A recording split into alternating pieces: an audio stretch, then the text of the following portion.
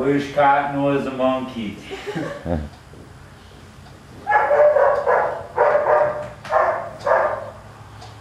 It's easier to calm him just by touching his cranium. I mean, just like you go, kind of like you put a blanket over his Yeah. brain, like, oh, ooh, and then he calms down and shuts down.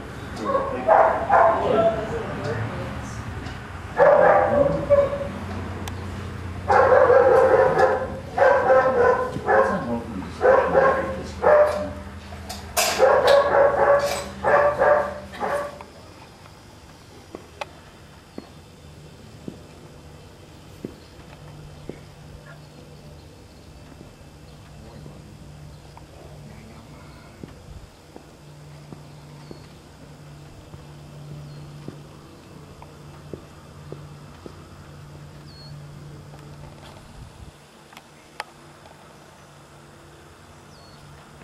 Thanks, bud.